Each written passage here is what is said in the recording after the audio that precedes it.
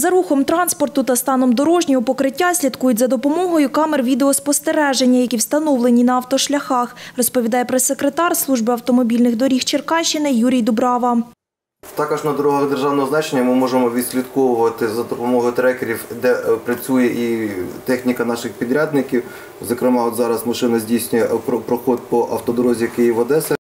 На цих світлинах ви бачите, як очищують від снігу та посипають протиожеледною сумішю автодорогу Р-09 Миронівка-Канів. Загалом по області нині працює 30 одиниць техніки.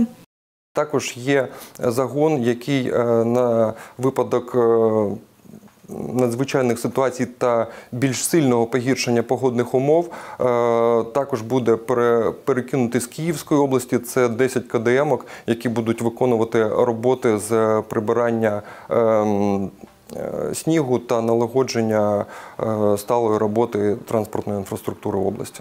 Ускладнені погодні умови протримаються на Черкащині до 10 лютого, говорить керівник обласного гідрометеорологічного центру Віталій Постригань. Над Балканами утворився південний циклон. Бачите, він ще був над Балканами, а зараз він вже знаходиться над Чорним морем. І якраз Черкащина знаходиться в зоні дії атмосферного фронту. Тому от у нас випадають якраз опади. Завтра температура знизиться ще на кілька градусів, додає Віталій Постригань.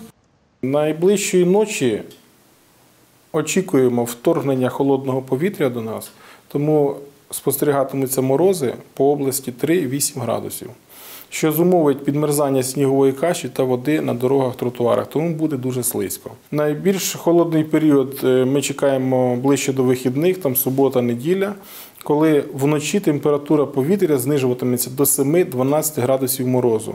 Танення снігу очікують з понеділка. Ольга Котляр, Федір Коцаба. Новини на Суспільному. Черкащина.